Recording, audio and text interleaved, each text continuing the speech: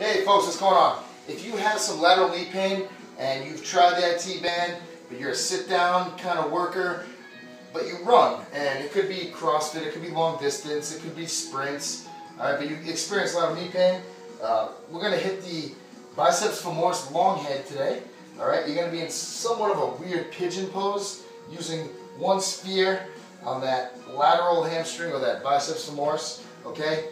And just little little quarter of separate, get in, recognize, find some spots, and then melt. And when you melt, just drop down to those forearms, all right? You can put a little leverage here. You can try to bring that leg up a little bit more into uh, knee extension, but this is definitely going to help with some of that lateral knee pain that you've experienced, so give it a shot, let me know what you think, make sure you have plenty of water, keep on P-knotting, and remember, the issue is with the tissue.